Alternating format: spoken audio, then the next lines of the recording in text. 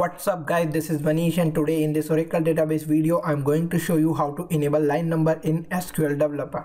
Okay let's start. Open up your SQL developer.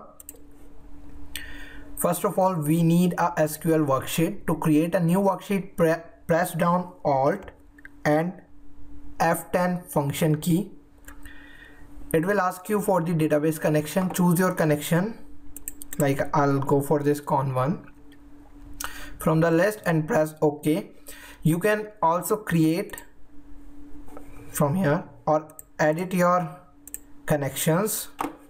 Uh, okay here. Now press ok. Now to enable line number go to tools then preferences. And here in the search bar write line and then select this line gutter. And on the right hand side of the window select show line numbers and press ok.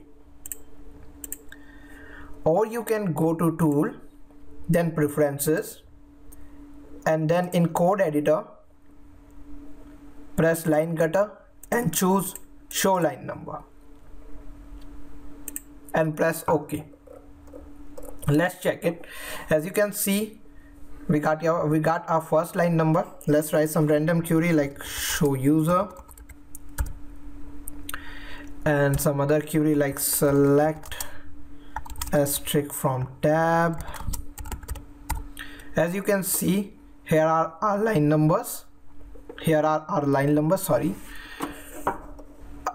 I always recommend this. That's it for today's video guys. If you have any query, you can write to me. Con contact details are in video description or you can comment.